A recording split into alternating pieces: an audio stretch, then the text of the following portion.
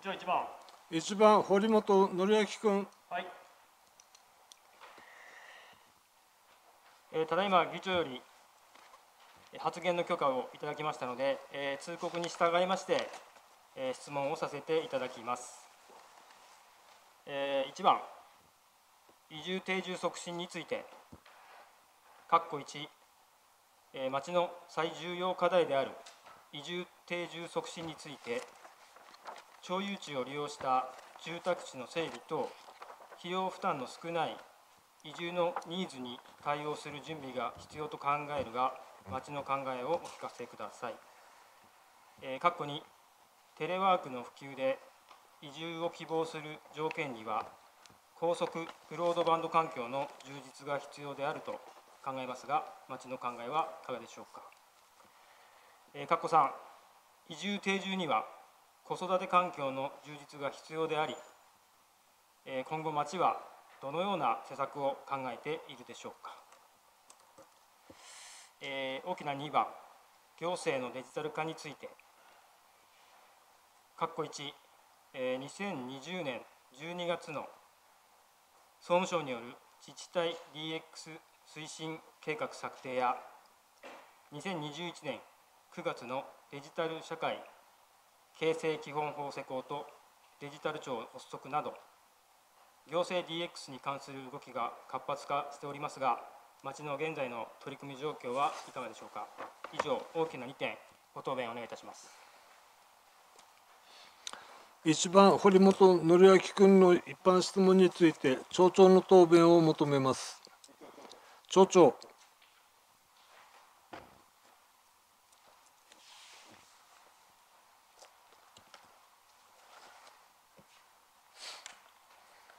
1番、堀本紀明議員の一般質問にお答えいたします。1、移住定住促進について、括弧1、町の最重要課題である移住定住促進について、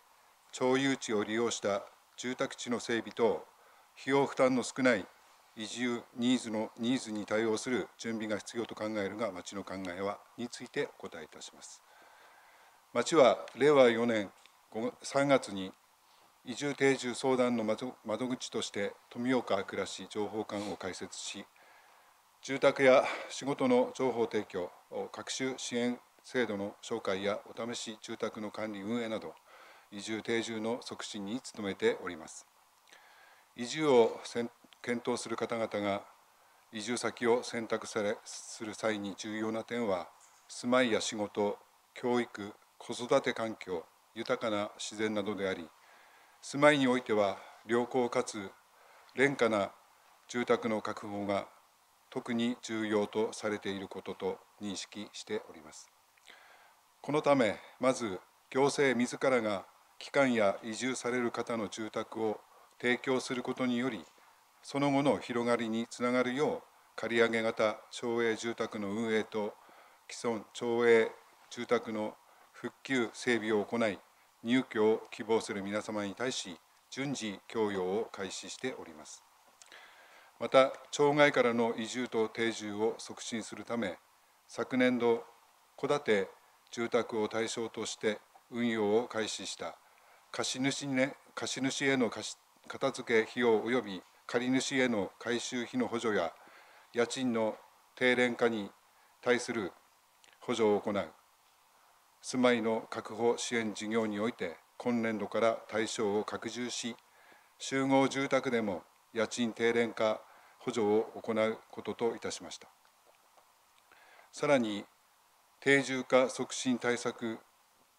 助成事業において町内に10年以上居住する方の住宅取得またはリフォームにかかる費用の一部補助も実施しております。今後も町営住宅の入居案内や住まいの確保支援事業などの移住に関する情報発信を積極的に行うとともに住宅用地への町有地の利活用についても不動産市場の動向等を見極めながらも先行事例の研究を行うなど定住人口の増加を目指した取り組みを検討してまいります。次に括弧にテレワークの普及と移住を希望する条件には高速ブロードバンド環境の充実が必要と考えるが町の考えはについてお答えいたします。近年コロナ禍を背景としたテレワークの導入などにより首都圏を中心として地方への移住の関心が高まっている中円滑にテレワーク等を進める上で大容量の情報を迅速に送受信することができる高速ブロードバンド環境の充実は移住検討者の重要な判断材料であると同時に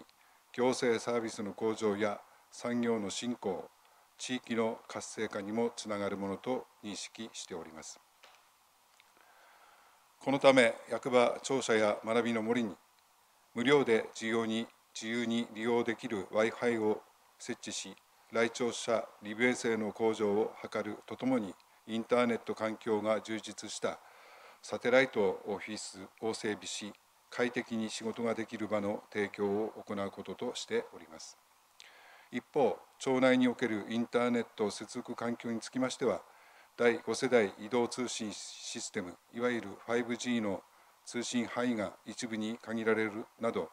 必ずしも充足しているとは言えない状況であることから通信事業者との協議を行っているところです。高速ブロードバンド環境の充実は地域住民の皆様の生活や仕事環境の向上につながることから機関と移住の促進を図るため今後も国や県等の関係機関と連携し通信事業者に対し要望してまいります。次に括弧3移住定住には子育て環境の充実が必要であり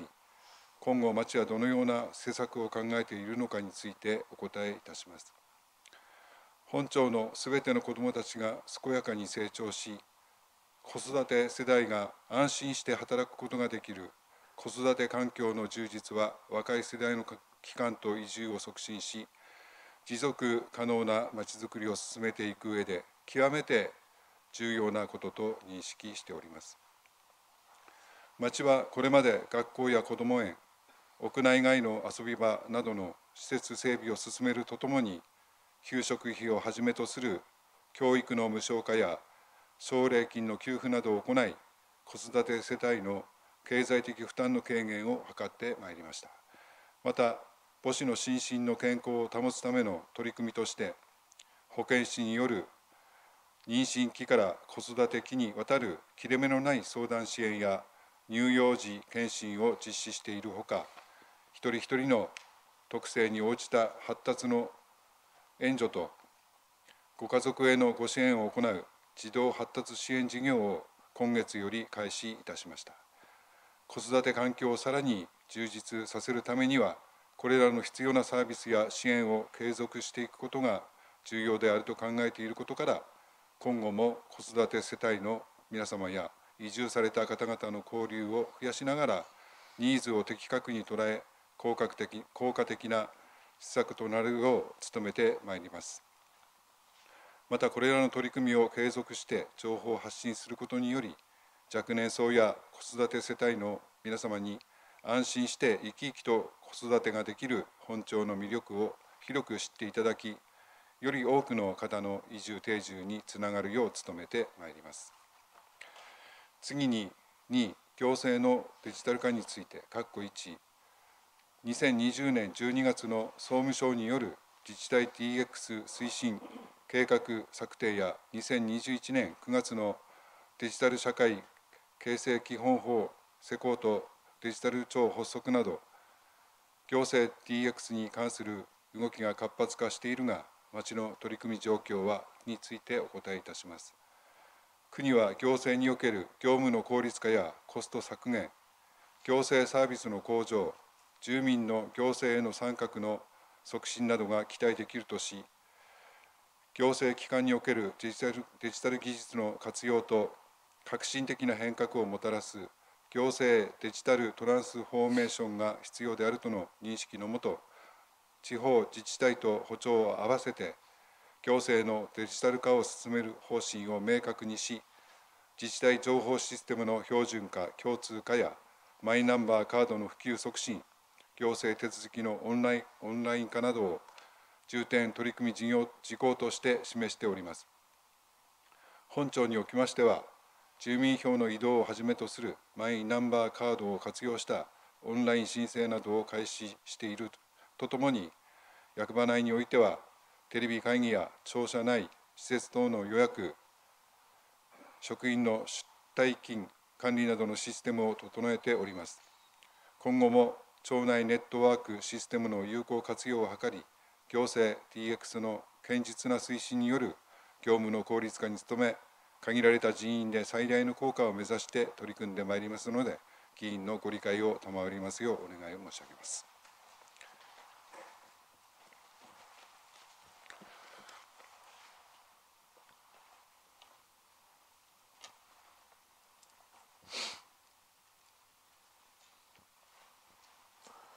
再質問に入ります。一番堀本則明君。はい、えー、ご答弁ありがとうございました。えー、まず、えー、1番の括弧1、えー、から再質問いたします。えー、先ほど町長の、えー、ご答弁の中にですね、えーとえー、家賃の低廉化という補助をされているというふうに聞いてました。ちょっと私、それあの今まで頭に入ってなかったものですから、以前、えー、ちょっと前の、えー、一般質問か定例会の時にもですね、の住居確保の必要性ということで、その家賃補助等をしていくべきではないかというところを、えー、お尋ねしたときにですね、えーと、借り上げ型の町営住宅を整備していきたいというようなお話があった。でも現在、その借り上げ型の町営住宅についてもですね、えー、ほぼ満室状況であろうというふうに思っておりまして、やはりその移住していただける方にはですね、住居というのは大きな問題でありますから、そのあたり、えー、今後もその借り上げ型の住宅をまた増やしていくのか、えー、もしかしたらば、えー、町営住宅を建設するというような考えもあるのか、そのあたり、今のお考えをお聞かせください。総務課長。いたします。あとあのまずですね、あの借り上げ型町営住宅のあの空き状況でございますが、の満室ではございませんで、あの空きございます。えっ、と現在ですね、えー9室の空きがございます。はい、それとあの今後のあの町営住宅をどうするかということでございますが、えー、今後ですね、あの町営あのまずはあの町営住宅としては、あの本年4月にですね、あの解除された復興再生拠点区域内にあの親善住宅の提供を開始したところでございます。で当該地域のにぎわい創出のためにもあのこちらもまだ空きがございますので、積極的に入居者を受け入れていきたいと考えております。その上で今後のあの町営住宅の整備につきましては、移住者に対し、まあ、移住者の方もあの考えての話ですけども、え移住者の方に対してもあの迅速に住まいを提供することと、あと建設型であのストックしてしまいますと、まず建設費がかかります、その後の維持管理費もかかります。ということを考慮しまして、あの後世にわたって負担を残さないという観点から、え、新たに建設するのではなくて、え、既存のあの民間の住宅ですね、民間の住宅を借り上げて、え、低廉な家賃で貸し出すという方式で、今後は対応していきたいと考えておりますので、ご理解よろしくお願いいたします。一番堀本則明君。はい、ありがとうございます。あの私今、えーと、借り上げ型の住宅、えー、空き室がないというような話をしました。これちょっとホームページで確認して、えー、なんか今現在あの応募ありませんみたいな形だったものですから、もしその辺えっ、ー、とご確認いただいて、えー、空きがあって、えー、その要望をしている方がですね、それを見て、えー申請したいというところにはしっかり対応できるようにですねあのちょっとすみません私が見たところが間違ってたら申し訳ないんですけどちょっと確認していただければというふうに思います。はいえーとまあ、以前もですね、えーと、建設型の町営住宅をという話と、えー、借り上げ型でやっていくかという話ありました。えー、私もあの借り上げ型悪いと思ってないですしただそのどんだけ抑えておかなきゃいけないかという問題も出てくると思うんですね。でまあ今のところそんなに移住者も多いわけではないでしょうから対応は可能かと思うんですがやっぱり、え急に対応というのはちょっと不可能なのかなというところもあるんで、まああのどのぐらい余裕を持って、え借り上げ型の住宅を用意していくつもりなのかそのあたりのお考えお聞かせください。総務課長ます。あまずあのホームページについてはちょっとご確認させていただきましてもしかしたら更新が遅れてるのかもしれませんので、えー、ちょっとあの更新が遅れてたら対応させていただきたいと思います。あと、えー、移住者向けのあの今後の借り上げ住宅ということでございますがあのまずはその移住希望者の方の動向をちょっとあのよく確認してですねあの借り上げ型借りたもののあの移住者がいないというような状況になってもこれはまずいですのでまずはその移住者移住希望者の方たちの動向をあの慎重にあの確認してからということになろうかと思います。よろしくお願いいたします。一番堀本則明君。はいありがとうございます、えーその件についてはですねいろいろあのー簡単に結論出るものではないと思いますので、えー状況を見極めながらですねご対応いただければというふうに思いますであの今福島県でも、えー、と12市町村移住支援金というのがありまして、えー県外から、えー12市町村への移住者に対して、えー移住支援金を交付というような、えー事業をされております。で町内でこういったあの支援を受けられた方がどのぐらいいるのかもし把握できていればちょっと教えていただきたいんですが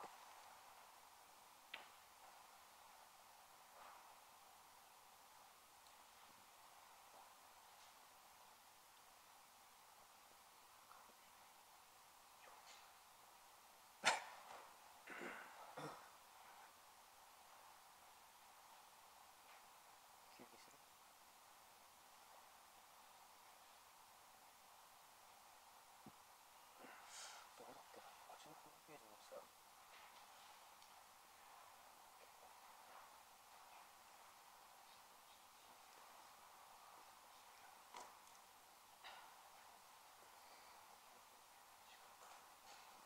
違うの原田課長答弁できんならば特別に許せよ。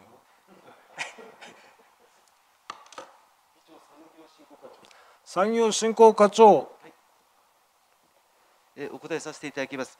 えー、とただいまありましたその移住支援金関係のことでございますが、えー現に県が交付するという決定者でございますので、えー町がどこに関わるかといいますと、移住された方々が、えーその対象となるかという書類をいただきます。えそれをもって、え確認し、その書類のお手続きを支援するという形でございますが、えストレートに今度、県の方に投げるという形でございます。え受付件数が数50数件ほどあったというふうに記憶してございますが、その方々すべてが採択されたかどうかというのはちょっと確認できていない状況でございます。またその件数についてもあの県の方に確認をしなきゃいけないかと思っておりますが、えーそこが難しいところがこの方々が対象でこの方々は外れましたというところがかなりハレーションがあるというふうに伺っておりますので申請件数は分かっていながらもその誰がと件数については公表されていないのではないかというふうに確認しております。以上でございます。一番堀本則明君はい、ありがとうございます。まあ、県の事業ですから、あの、すべて把握するというのはちょっと厳しいかなというふうに思います。で、あの、非常に、えっ、と、この12市町村にですね、ちょっとあの、金額も増やしていただいて、対応していただいておりますので、町でもあの、しっかりもうちょっとですね、えホームページ、まあ、あるんですが、もうちょっとアピールしてもいいかなというふうに思いますので、そのあたりのご検討もお願いします。えーそれで、まあ、あの今、いろいろと移住定住関係の調べていますと、えー、と新築の一戸建てを建てて、え20年間、賃借として貸し出して、それを利用すると、えー家と土地が無償で譲渡されるというような支援を行っている市町村も、市町村、自治体もあるようです。まあどんだけ家建てなきゃいけないかという問題になってくるので予算的にもちょっと読めない状況なのでそこまでするのは非常に厳しいかなというふうには思うんですがあの今、えーまあ住宅等の解体も進んでおりまして民有地もあの空きもありますがあの以前から富岡町、えーまあ、賃貸住宅にしても、えー土地にしてもちょっと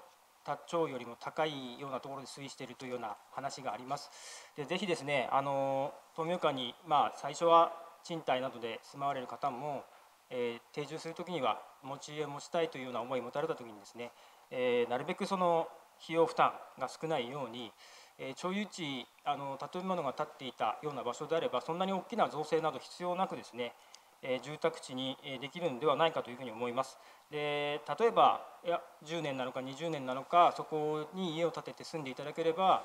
えー無償譲渡するというようなやり方でその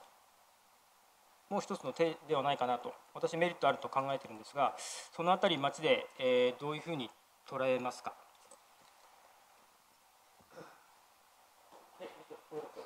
総務課長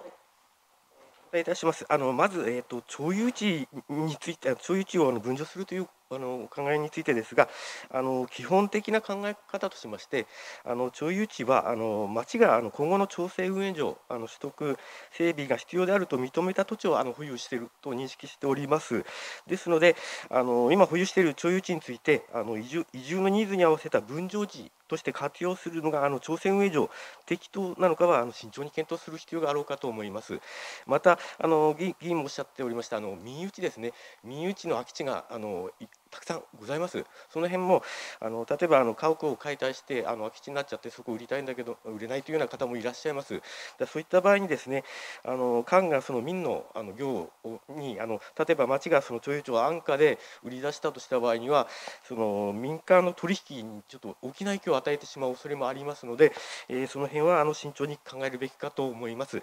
あとあの新築家屋にあの20年以上住んだら無償で譲渡するというようなあの先進事例でございますが、えーまあ、大きなあの私も承知しておりましてあの大きな反響があるとは承知しております。で、まあ、当庁に移住したいと考える方にとってはあの大変大きな魅力訴求効果がある政策ではあると考えますが、えー、まずはあの実施に向けてはあの先進地の事例等を調査するなど、えー、準備が必要かと考えておりますのでよろしくあご理解方よろしくお願いいたします以上です一番堀本則明君。はいありがとうございます。あの確かにですねえっ、ー、と官と民の話は必ず出てきますがその先行事例であるところはですね、えー、まあ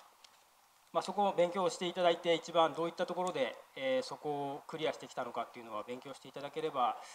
えー、当庁に当てはまるのかどうかを含めてですねあのちょっとご検討いただきたいご検討というか研究いただきたいなというふうに思います。ただあの、えー、どうしてもですね民間の土地が、まあえ周りの町村よりも高めな設定がされているというような話はよく聞きますのでそうなった時になかなかの富岡にで土地を購入して住宅をという方が少ないというのもちょっと困ってしまうところがあると思うのでその辺はやはり、えーと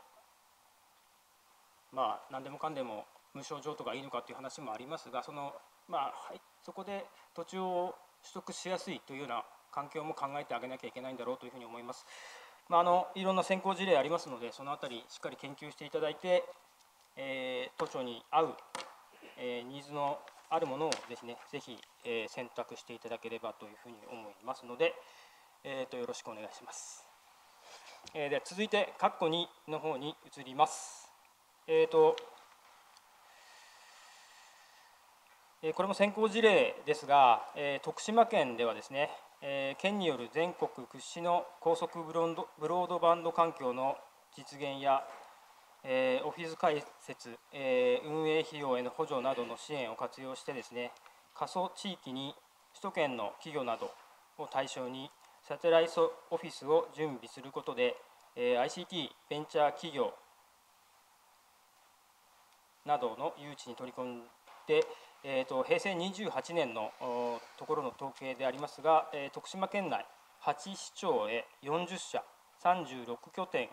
が進出しえー、その企業内で、えー、平成28年4月から9月で156世帯234名の方が、えー、移住されたというような、えー、ところの情報がありました。え、これは本当に素晴らしい成功事例、え、先見の明があったんだなというふうに思います。まあ、これ同じことをやって、え、結果同じくなるかというと間違いなくならないので、まあ、そういったあの、えーと、目の付けどころによってはですね非常に大きな効果を生んだというところを感心しました。で当庁も、え、光ファイバー対応エリアになっておりますので、え、実際インターネット自体は、え、高速ブロードバンド環境であるというふうに思います。えー、先ほどもありましたが、今後ですね、えーと、無料の公衆無線 LAN であるとか 5G の普及を進めるというお話がありました。えーと、無料の Wi-Fi についてはですね、えーとやっていくということなんですが、これ以前からもちょっとお願いしていましたが、いつ頃からですね、えー、やっていくのかでどういったところ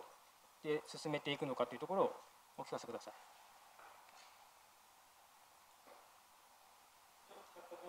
企画課長えご質問ありがとうございます。え無料 Wi-Fi の、え場所については、現在、え役場と学びの胸の2箇所となっておりますが、今後ですね、あのまあ、町の施策と、え鑑み、えー順次、場所の方は検討し、えー増やしていけたらと考えております。まだ具体的な場所については、えー検討中ですので、えーよろしくお願いいたします。一番堀本則明君ます。あのやはり、えーまあ今あのテレワーク等が普及されてますんで、えーまあサテライトオフィス開設されると思いますが、まああのそういったところに来た人はやっぱりそのインターネット環境をすごく使われると思いますので、えー、と町の施設すべて Wi-Fi にしていいんじゃないかなと私は思っていて、そんなどこでも例えばあの子供を遊びに連れてってそこでもちょっとネットワーク環境が良ければ仕事ができるというようなのがあってもいいんじゃないかと思ってますんで町のあの施設すべて、えー無線の w i f i が飛ぶような感じにしていただきたいなと思うんですが何かあの支障があるから進まないのかあそのあたりのお考えというかあのはいかがでしょうか？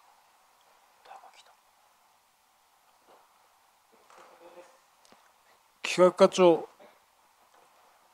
答えさせていただきます、えー何か支障があるから進まないのかということについてですが、えー現在順次、えー先行事例等を、え見極めながら、え場所を増やしていきたいと思っております。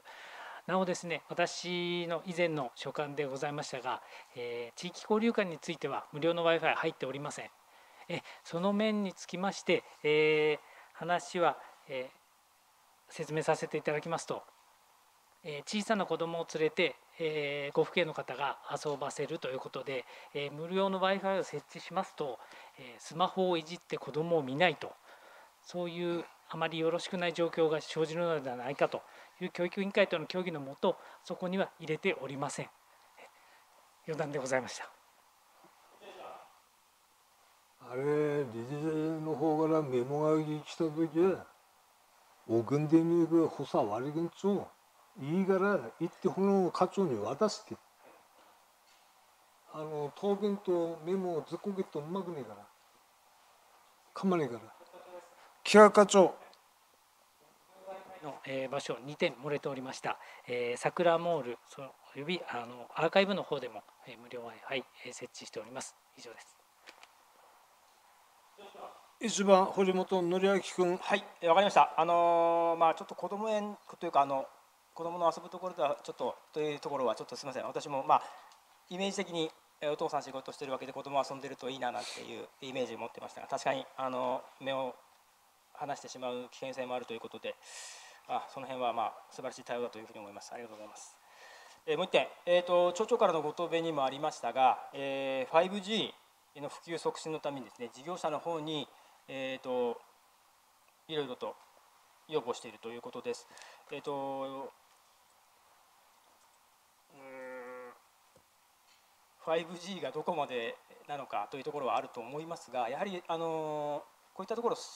最先端の地域になっていくというのは非常にいいことだと私は思うんですね。その面で、えーとまあ、事業者さんのご意向もあるでしょうが、これ国にもですねこういう被災地域なのでそういったところの、えー、と最先端地にしていただくような要望等もしていただきたいと思うんですがいかがでしょうか？企画課長ご意見ありがとうございます。えー当町、えーまあ、当地域、福島県イノベーション高速構想の、えー推進地域でもございますので、そちらも合わせてですね、周辺自治体とともに、えー県を通じて総務省の方に協議をさせていただきたいと思います。で、総務省を通じて、これ通信事業者の件になってまいりますので、そちらにも働きかけをしていただけるよう要望活動をしていきたいと思いますので、よろしくお願いいたします。一番堀本則明君はい、よろしくお願いいたします。えーまあ今ですね、あのそのネットワーク関係の話でいくと、えー今後オリンピックでも e スポーツが正式種目になるんじゃないかなという話題になっております。やっぱりこれからの時代、高速ネットワーク環境のさらなる充実というのはね、必要不可欠だというふうに思います。えー町でもしっかり情報収集してで、いろいろ研究していただいてですね、時代の先取りをしていくようなアンテナを高くしていただくようにお願いしておきます。えー続きまして、括弧3に移ります。えーまあ、子育て支援にすごく、えー力を入れている、えー自治体さんのいろんなあ支援事業を見ますと、東町も、えーしっかりと、えー同じような、えー支援事業をされているというのはあの分かっております。まあ、その中で、まあ、これ移住定住にも関わる、えー町の子育て世帯、えー奨励金について、これすごくいい事業だと私は思っているんですが、あのまあ、定住に関する奨励金として、まず1世帯当たり30万円、でそのあその後というか、あの子育て奨励金として、えー中学3年生までの、えーお子様1人につき、えーまあ、月1万5000円を支給するという、まあ、最長3年間ということになっていますが、えーこの事業、えー開始してからの交付実績など分かれば、ちょっと教えていただきたいんですが。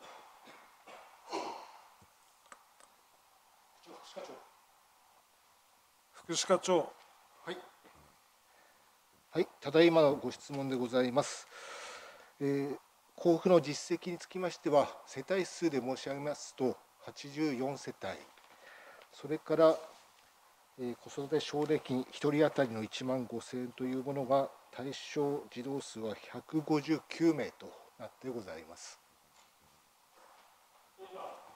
一番堀本則明君はい、ありがとうございます。えっ、とちょっと想像してたより多いですから、あの非常にそのまあこれが定住につながるかというところはまた難しいところでしょうが、まずは来ていただくというところの、えー成果は出てるのかなというふうに、えー思います。で、えー私この制度始まるときにですね、えー例えばこ例えばというかあの子育て奨励金に関して最長3年間というようなお話で3年でいいんですかというような話もっと伸ばしていいんじゃないですかという話をさせていただいた時に、え当時はですねその初めてやるところであるのでその状況を見極めてその、えそこを研究して今後どうするかということを検討したいというようなお話がありました、まあ、それ確かだなというところを思っておりましたが、もう制度開始してもう3年以上が経過しておりますので、例えばその、えー交付後、えー3年、交付が終わった時点で、えー転出されてしまったとかというような情報もある程度揃ってきてると思うんですね。その中で、えー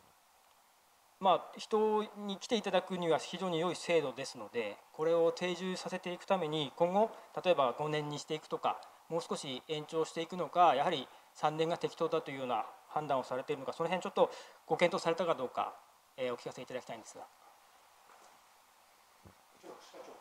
福祉課長。はい、えーまずですね、えーこの制度を利用されて、えー転出された方、それから、え3年を待たずにですね、転出が必要となって、えー転出なさった方というのは、えー数件例としてはございます。で、えーまず制度支給期間満了ということで、3年後ないし4年後に転出された方というのは、えー支給終了世帯の中、32世帯中7世帯の方が、町外に転出されたという数字がございます。それともう一つ、3年未満で転出なさって、こちらはあの返還というものが伴うんですけれども、そういった事例が5世帯ほどございます。まあ、これを仮に5年、5年という議論は正直まだしておりません。今後、財政的なシミュレーション等も必要かとは思っております。また他の、町内の他の移住制度、そもそも3年という数字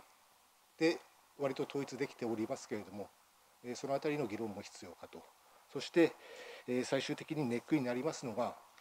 5年って伸ばした場合に、その返還の扱いをどのようにするか、5年を待たずに、5年未満で転出して4年分の返還をするとなると、相当の、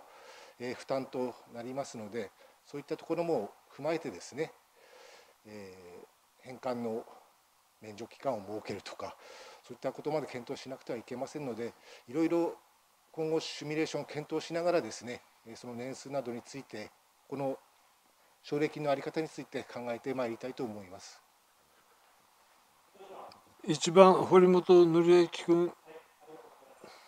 あのまあ、でも思ったより、えー、とその3年でもあの支援ないというところで転出された方は思ったよりは少ないのかなというふうに思います。であの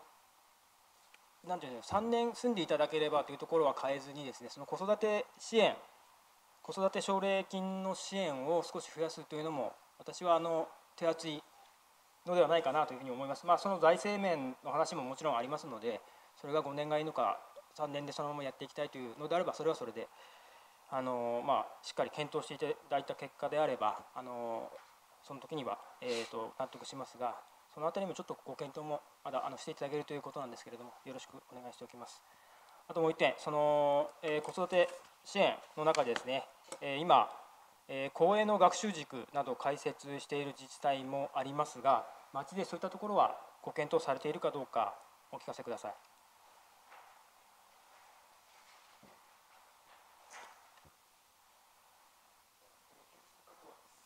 何教育総務課長です教育総務課長はいご質問ありがとうございます。えー、習い事の塾など子育て環境を考える上では、えー、塾というのは非常に大切な要素と考えております。えー、教育委員会といたしましては、地域住民の中で習い事などを教えていただける方を探す一方ですね、子ども教室など開催場所の提供も考えております。えー、またあの習い事の塾に関し、えー、塾だけではなくですね例えばあの地域スポーツクラブと連携してですね、えー、ジュニアランクラブであったりジュニアサッカーなども行っておりまして、え、あくまでもあの勉強だけではなくてですねスポーツ面においても、え、地域の力を生かして、え、何かしらあの民間の力を活用できるようなことを、え、検討していきたいというふうに考えておりますのでよろしくお願いいたします。一番堀本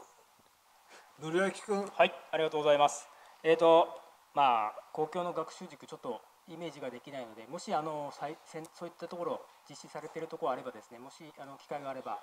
あのいろいろと勉強していただいて本当にいいのかどうかもうちょっと見極め必要かなというふうなところはありますのでその辺ちょちょっと,、えーと、頭に入れてですね機会があればそういったところを学んでいただければと思います。であと、まあ、今オンライン塾なんていうのもあるようですので、まあ、その辺りも教育委員会の方でもどういうものなのかしっかり掴んでもしかしてそれがいいものであればお子様に、えーとまあ、何か例えばちょっと支援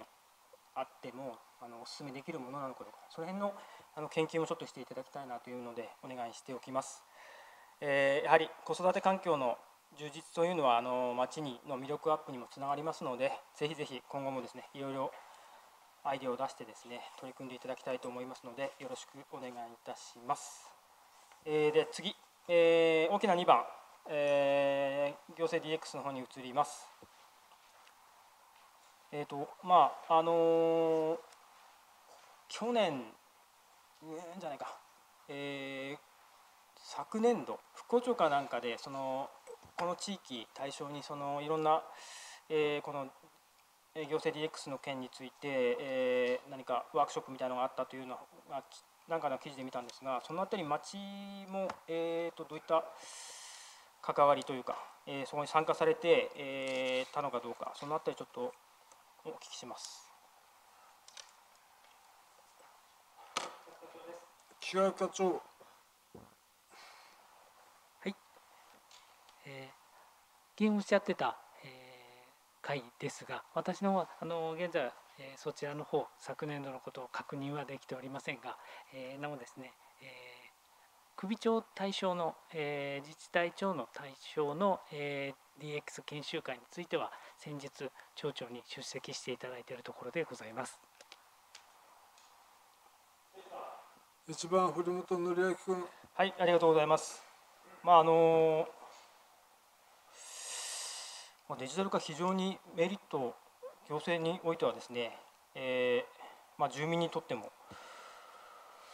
手続きの簡素化とか迅速化、えー、地域間によるサービスのサービス格差の是正など非常に効果が期待できると思うんですね。でうんやはりまだまだそのデジタル化には進んでいってないように私は感じ取れるんですがこれ確か2025年度を目標うんと経過期間というふうになってたと思いますがここに、えー、対応可能なのかどうか今の現状の進捗状況でそれが本当に対応可能かどうかその辺はいかがでしょうか？企画課長。えー議員ご指摘のですね総務省からの計画ですが、えーこちらについてちょっと申し上げさせていただきます。えーまずですね、え総務省の中で、え重点項目として6つ挙げられておりまして、えまず自治体情報システムの標準化共通化、えそれからマイナンバーカードの普及促進、え行政手続きのオンライン化 AI、RPA の利用促進、テレワークの推進、セキュリティ対策の徹底を、え進めることとされております。このうちですね、自治体情報システムの標準化、共通化を行うこととされておりますが、こちらについては、え令和7年度までに、え私どもの方でも、え標準化に乗れるよう、今、え分析調査準備中でございます。でマイナンバーカードの利用促進あ普及促進につきましては、え住民課と共同して、え広く周知しているところでございます。えー行政手続きのオンライン化ということで、えー住民に身近な31の手続き、えー児童手当や、え子育て関係のところ、え要介護認定の申請等々、そちらにつきましては、え31示されておりますが、すべて、え運用可能という状況になってございます。ただこの手続きのうちですね、え利用されている実績が上がっているのが、えー児童扶養手当の現況届の事前送信、えー住所1.5の要介護要支援認定申請など、えーそういったところに限定的となってございます。続きまして AI、RPA の利用促進ということになっておりますが、こちら以前、あの介護保険事業のにおいて、えー事務処理など、えーデモで入れてみたのですが、えー当庁のですね処理量と、えこちらの、え AI、RPA、特に RPA なんですが、こちらの、え導入した時のメリットがあまりなかったということで、ちょっと規模が小さすぎるのかなというところもあります。そういったところを踏まえまして、今後、導入できる業務がないか全庁的に精査してまいります。で続きましてテレワークの推進につきましては、コロナ禍におきましてテレワークのシステムは、整備しております。現在主に、えー使われているのは、えーウェブ会議とそれからですねあのまあコロナに伴いまして在宅勤務増えますのでその際に、えー職員が持ち帰ってもらえるように各課にえーそういったえーテレワークシステム用の端末を配備してございます。であの災害発生時の緊急情報等を流すためにですね、えー企画課職員常時、えー持ち帰っていつでもホームページに情報掲載できるような体制を整えております。さらにセキュリティ対策の徹底ということで、えーこちら、えー情報漏洩や不正アクセスを防ぐためのセキュリティ対策も現在実施中でございます。以上となっております。一番堀本紀之君はい、ありがとうございます。あのまあそうですね。まあ、えー、粛々とあの準備進められているというようなあの感じで受け取りました。えっ、と一点ね、あの非常に便利で早くやっていただきたいと思う反面、高齢者の方が本当にこれ対応できるのかなというような不安もちょっとあるんですね。その辺は、えー国からはどういった内容の、えーアナウンスが来てるんでしょうか？企画課長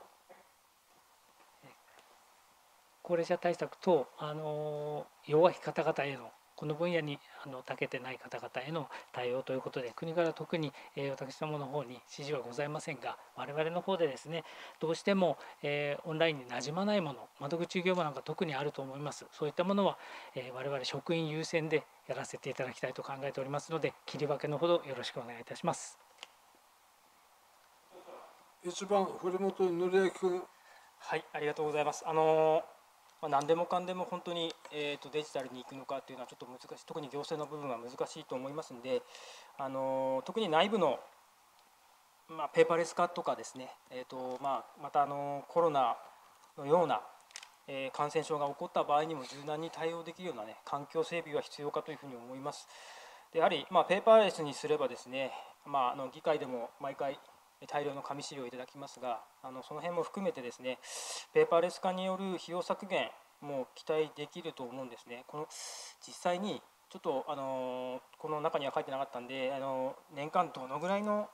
そのコピー用紙を使われてるかもし分かればでいいんでちょっと教えていただけますか？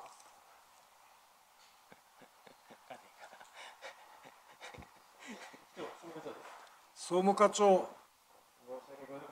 今データ手元にないもんですか？らあのあの結構いっぱい使ってるというようなことで 申し訳ございません。一番堀本則明君間違いなくいっぱい使ってまあそのまあ年間の予算からすればですねそんなに大きなものではないのかもしれませんがその、まあ、今 SDGs なんていう言葉もありますの言葉というかもうかなり、えー皆さん意識されてますんでそのペーパーレスをしていくというのも非常にメリットあると思います。えーぜひね、えー、とこの辺りも含めて、まあ、議会も含めてですねあのペーパーレスしていただけるとあの無駄な紙、えー必要なくなると思います。であの